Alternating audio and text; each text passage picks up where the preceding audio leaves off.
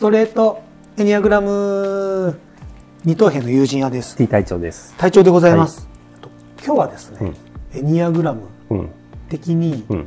えっと、ストイックうん。ストイックがうん。善か否かうん。うん。っていうのを、うんダバなしダ談話バなし室談話うん室ダバなしなのか、うんちょっと話をしたいなと、うん。いろいろなエピソードが。いろいろな出来事があって、あのどうしても思うことが。と止めら思うことがあって止められないタイプロックの反応が出ましてですね、あのまずうん。あったのが、うん。えっ、とあまり出すのもはばかられるんですが、うん俳優のうん。三浦春馬さんうんが、まあ、ああいう事件が起きましたと、で噂によると、うん。とてもあの役柄に対してうん。ストイックな方だったと、っていうのを聞いてます、うん。でその俳優のうん。ストイックエピソードで、うん。例えばその「バットマン」「ダークナイト。うんう」ん。でヒース・レジャーうん。っていう方、うん。っていう俳優も要はバットマンの中のジョーカうん。ーの役にうん。入り込みすぎて、うんまあちょっと精神をうん。壊したのかうん薬物の過剰摂取で、えーと死んでしまったうんみたいなうん。のがうんありましたよと。うんでストイックストイックがもたらした。っうん。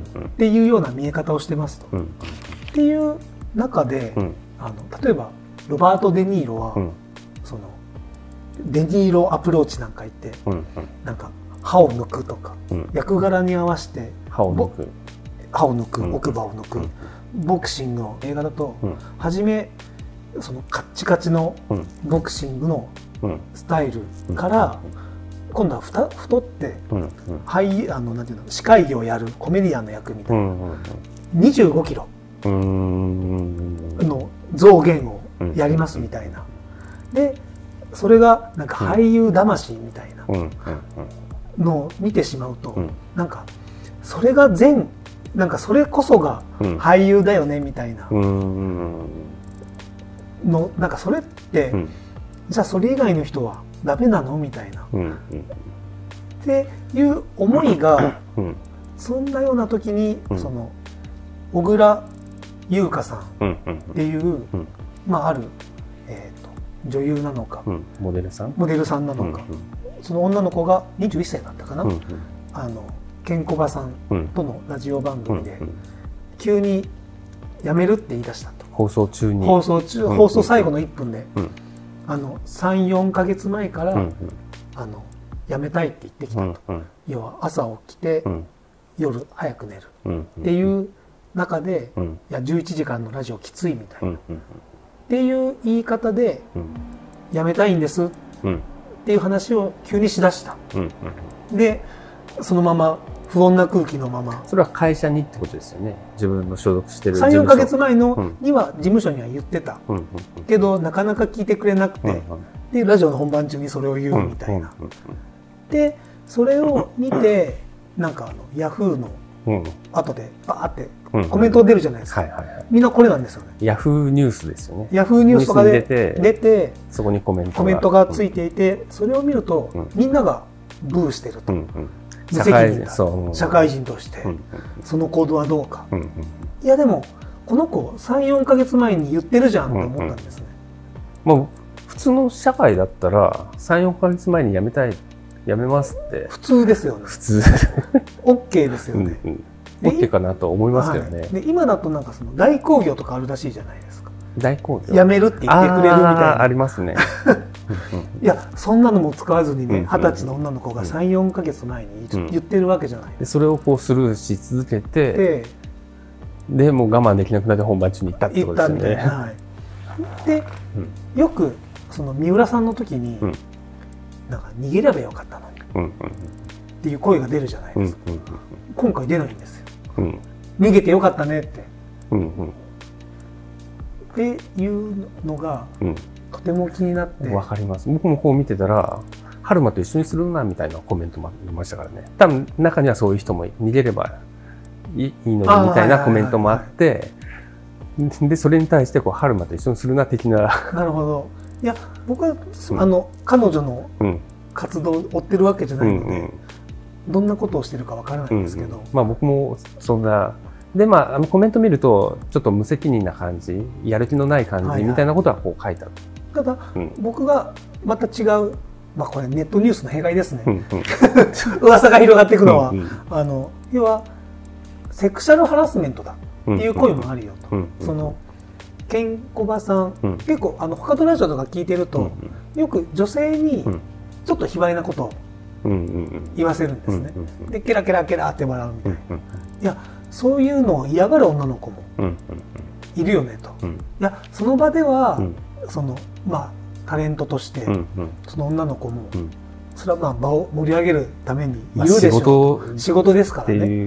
仕事っていう意識ですれば、うん。うん。でもこれ社会人的に、うんその僕デザイン会社で女の子にうん。あのケツからうん。手突っ込んでうん。って言ってよ。うん。っていうのって僕多分これアウトですよね、うんうんうん。普通の社会アウトですよ。確実にアウトですよね。確実にアウトケですよ。ツの穴って要は、うん。アヌスからうんで多分言わしたのかなと、うんうんいやそれ言ってよって多分僕アウトですよ。ねアウもう完全にアウトですよね。完全にアウトですで多分それをうん。ちょっと言わせてる。うんうんでもしかしたらそれが嫌だったのかもしれない、うんうんまあ分かんないですよ、うんうんでもじゃあ彼女が死ねばよかったのかってちょっと思うんですね、うんその、うん。無責任だって叩いてる人たちに対しては。っていうそんなこんながあってそのストイックっていうのはうん。いいのか、うんなんかまあストイックがいいかっていうとまあストイックにそういうのはすごいなって思う部分はある,、まありますよね。あるじゃないですか、はい、はいあります。そこまでこう役に、はい。まあ、プロ根性みたいなそうですね、うん。のはあるじゃないですか、はい。でそれがもう完全にいいことなのかって言われるとそれを求められると困りますよね。僕としては、そうなんですよね。そう。なんですよね、うん。そこまで求められると困るしもう仕事のために歯を抜けって言われても絶対嫌だ。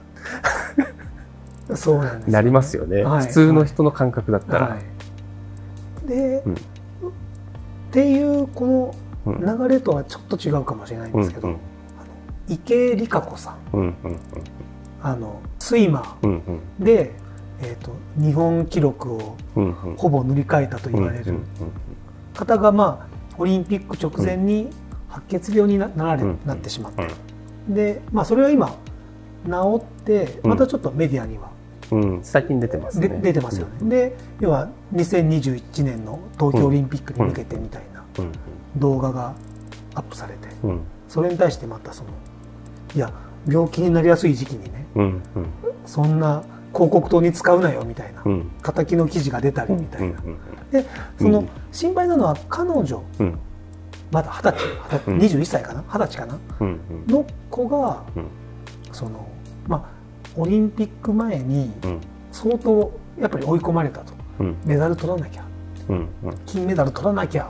うん。っていうので追い込まれて、うん。えー、と告知された時うん。に、うん。あ病気に白血病ってうん。なった時に、うん。あこれ以上頑張らなくていいんだって思いいんだって白血病になってよかったじゃないですけど、うん。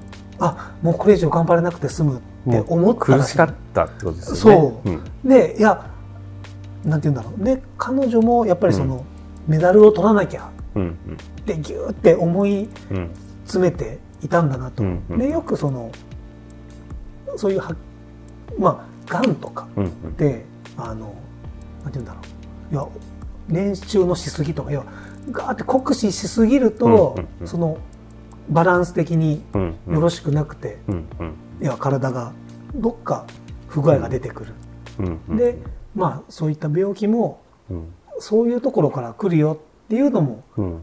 ある人は言ってることもあって、うんうん。いやいいいいのにって思ったんですね。そんなにストイックにならなくても、うん。まあこのあれじゃないですか。世界一を目指すレベルになるとストイックになならざるを得ない。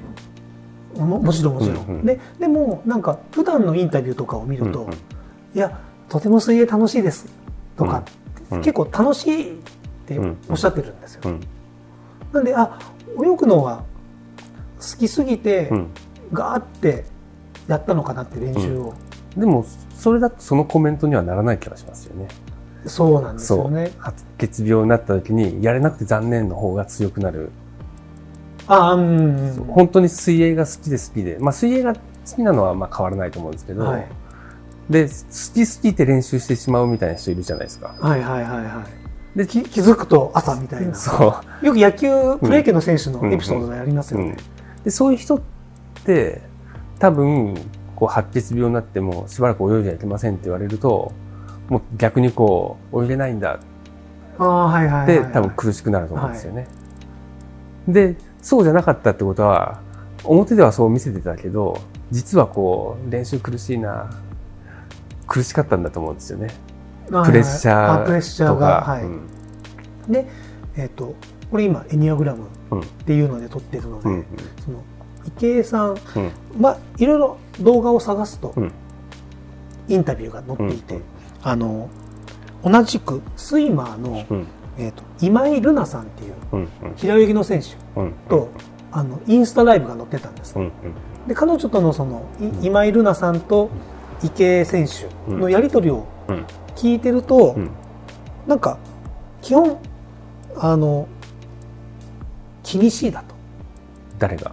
池江さんが。IK さんが。気にしいで、うんとにかくうん。先に謝るよね、みたいな。うん。うんところがあるんだけども、欲っぽいじゃないですか。そう。であとあとはそのうん。ただ基本明るいよっていう話とか、欲っぽいじゃないですか。敵。なんかそのインスタライブもうん。初めがグダグダだったんです、うん。その15分要は10時からやります、うんうんじゃあ15分前から準備しましょう、うんうんでやってるけど映らないみたいな、ああ。でも映らなくてもいいよねみたいな、とうんうんうん。りあえずやっちゃいましょうみたいなうんうんところで、お女の子がキャッキャッキャッキャ喋ってる、うんうん。まあ6っぽいかもしれないですね。今の話を聞くと6っぽいかなっていう。で僕はそのなんか、うん。あの水泳が楽しいですうんうんっていうのを見てると、うん。あとはなんかアメリカで、うん。えー、と修行じゃないですけど、うんトレーニング行った時とかは、うん先頭に立ってじゃあ私についてきてくださいみたいなうん明るく振る舞ってるのを見て、あ7っぽいかなってちょっと思ったんですけども、うんうん7だと、はい。多分プレッシャーから逃げると思うんですよね。なるほど。うん。あの、こう人生苦しいのが嫌っはい。ていうタイプじゃないですか。はいはい。いかに苦しいのことから逃げるかみたいな。はいっていう、まあそのためにこういろんなものに手を出して楽しそうなもの、はいはいはいはい。刺激的なものに手を出していくってタイプなので、はい。でもそこまでこう、落ち、こう、白血病になった時に、よかった、あ、でも逃げられてよかったって思ってるのかな。逃げることができて。はいはいはい。あ、でも楽しくてやると思うんですよね。そこまで水泳をのめり込んでるはい。ってことは、でまあわかんないですね。で僕は、うん。あな7かなっうん。てちょっと思いながらも、うんうん。だとすると、うん。今、うん。要は、えー、と病気が治りましたよ、で今、うん。また見ていると、うん。あの今病気になった私がうんうん。メダルを取るっていうのを、うんうん。今病気の人たちにね、うんうん。光を与えるために、うん。そうなりたいんです。うん。っていうのをうん。見て、うん。いやいいいじゃんってそんなこと気にしなくて。っうん。て僕思ったんですね、うんもういいいんだよって。うん僕はやらせれやらされてる感が 感じましたけどね。あそう言わされてる感。言わされてる感っていうか。ああなるほど、うんそうそうなんで、うん。で私がそのメダルを取るっていうのをやめてしまうと、うん。価値がなくなる的なことを言っていて、うんうんいやあなたほどの実績残している人がそれを言うと、うん。他の人うんみんな無価価値。みんな無価値ですよと、うんっうんていうふうにちょっと思ったんです、うん。そう言われると俺俺苦しいと。うん。うん。だからあれ価値ないと。私には水泳しか価値がない。あそう。でそれは全然そんなことないっうんて思うのと同時に、うん。なんかそのあるインタビューの中で、うん。私はあのバタフライ。うん。あもちろん日本記録持ってるんですけど、うん。そのタイミング手と足のタイミングうんがうん。ちょっと今迷ってるんですよね。っていうのを話をしていて、うん。あ日本記録を持ってる人がねうん。ちょっとわからないとかいるんだ。うん。でそれがすごい楽しそうに話をしていて、うん。今タイプ7っていう過程でうん。話をすると、うん。あだとするとそれを追い求めればいいじゃん。とうん。そのタイプ7で言うと、うん。その統合の方向がうん。5でしたうんうん5ですよね、うんです。一つのことを集中して追い求める、うん。掘ってけと。うんうん。なのでもしかねこの池江さんがうん。この動画をうん。15分にわたってうん。見ていただけるんだ。とすると、うん。いやじゃあ今そのねうん。迷っているバタフライを追い詰め、ま、追い追い求めましょうよ、うん。そのうん。メダルを取らなきゃとかね。うん。それあの対抗の方向要は、えーうん。統合と分裂。分裂。うん。分裂の方向で言うと、タイプ1っていううんうん。あのすべきだ。うんうん。しなければならない、うん。それタイプ7にとっては、うん。そのやらなきゃやらなきゃっていう、うん。そのタイプ1の悪い面うん。が出てませんかと、いうん。やもう楽しんで掘っていけばいいじゃないですか。うん。で偉そうにね。うん。ちょっともう声がかけたくなったんですよまあでも僕今の話を聞いて6っぽいかなって。なるほど。あだとすると、うんタイプ6、うん。日本人に一番多いと言われる。れる。えー、とルールがうん。慎重に物事を調べうんて行動する人と言われたり、うん忠実な人と言わうんれたりうんするんですけども、うんこの人も要はいろんなことを気にするいろんなことを気にする。で周りのプレッシャーとか、まあ、責任感じゃないですか。責任感がすごい強い。すごい強い。はい、だからこう周りから期待されるそれになんとか応えなきゃってこうストイックに追い続ける。はい、でこれもまうんたストイックにありすぎるっていうのは、分裂の方向のタイプ3の悪い面、うん周りを全く見ずに自分のことだけみたいな、そう違うと、うん。タイプ6の、えー統合の方向うん。はタイプ9、タイプ9気楽に？気楽に。リラックスして？いいじゃんみたいな。そうその辺でみたいな。そうなん。だからその、そう追い求めすぎるっていうのが、あまりそのいやそ当人が、うん。ああるバランスの中でうんうん。やるのはいいと思うんですけど、うんそれをなんか求めてしまったり、うん。それがいいって言われるとうん。苦しくないですか？っていう、だから多分ストレスはいになるレベルは多分もう健全度が落ちるレベルだと思うんですよね。はい。なのでこう本当に楽しめてるレベルでストイックだったらまだいいと思うんですよ。はいはい。いいし例えばタイプ1の人とかってストイックなタイプって言われるじゃないですか。はい。で僕の中でこう三浦春馬さんはい。とかはタイプ1っ1っぽぽいいですよね。こう真面目に、い、はい。やこうでなきゃいけないっはい。て思っててそこを追いつ追い求めて、はいで結局こう自分にストレスがかかりすぎてこはい。う病気になったりしてしまうみたいなところなんで、そこまで行くんだったらその前に手放した方がいいよって話じゃないですか。そうですね。こうエニアグラムテクニックととらわれなんで、はい。もう握りしめてる部分ですよ、はいはい。こうねばならない。こうしなければならない。っ 苦しい苦しい苦しいです。ていうふうになってるので多分良くないですよはいね、はい。ただ他のタイプってそこまでこう追い求められないので、はいまあ、追い求められるのは良かったりするわけじゃないですか。追い続ける。そうだからこそまうん。ああの芸能界、うんうんうん。俳優の中でうん。形を残せた、うん。はい。だから多分バランスが重要だと思うんですよね。はい。そうですよね。そう。エニアグラム的にいけば。でそのエニアグラム的にもそうですし、うん。これあの今別の動画でも撮ってる、うん。エーリッヒ・フロムうん。「愛するということ」の中にも、その行動っていうのは、よくアクティブな人がうん。行動的でうん。家で本を黙々と読んでるうん。人は行動的でないみたいなうんこと言われてるんですけど、うんいやこの行動してるって、うん。あの駆り立てられてるだけだとうん。何もか実は何も考えていない、うん。能動的受動的で考えると、うん能動的なのは自分で好きで本を読んでうん。る人、見た目では全然活動的じゃない、うん。ただガーって動いてる人は、うんもう受動的に追い求められて、うん。駆り立てられてるだけだみうたいな、ん。そそれはあまりその形として良くないようん。っていうふうに言われていて、うん。だとするとその何かにうん。求められたことに対してうん駆り立てられるっていうのはうん。あまりよろしくないですよね。だから、まあ普通にあれですよね。自己主張タイプの人って、自己主張しなければっていう無意識のうちにそういう思いがあって、それはい。のその思いに駆り立てられて、こう自己主張してる。はい。ので多分自己主張の人は自己主張良くないって話ですよね。そうなんですそう。そうなんですそう。なんでです有利タイプの人はこう、逆にこう有利しなければって書きられ書き立てられてるので、はい。それは良くない。もうちょっとこう、そうそうなんですで依存的タイプの人は、別に依存しなくてもいいから有利しなさいって 話なんですよね、うんそう。ってなると結局エニアグラムに戻ってくる、はい、なんでいやなんでそのうん。エニアグラムも、うん。エーリヒ・フロムも、アドラーも、みんな手放せ手放せ。手放せって言うんですよ。掴んでるものを手放せと、はい。池江さんにも、うん。ぜひねその、うん。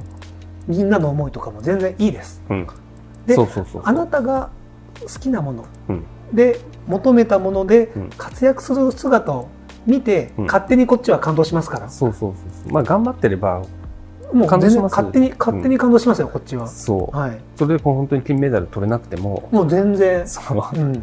その姿がかっこいい、それそこはそう。そこですそこです。うん。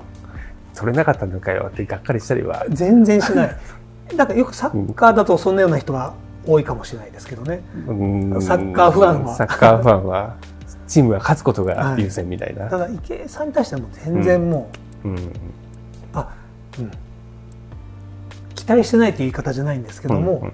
あのお妹やりたいことをやっている姿がまだ二十歳の女の子ですからね。その姿がかっこいい。あ、そうそうそうそれだからこう何もせずにポンと金メダル取ったりするような人。はい。まあいないかもしれないですけど、はいそういう人はそんなにかっこよくないじゃないですか、はいはいはいはい。こう生まれつきこう体格がものすごく優れてて、はいはいはいはいもう他の人をこう引き寄せない引きつけないなんだろうでもまあやってるでしょうしね。そそううまいう人も。あそういう人もやってはい。でもしそういう人がいたとしたらそんなにかっこよくないじゃないですかロボットと一緒じゃないですかあ、要は自分がなれると思いませんよね。そうそうはい。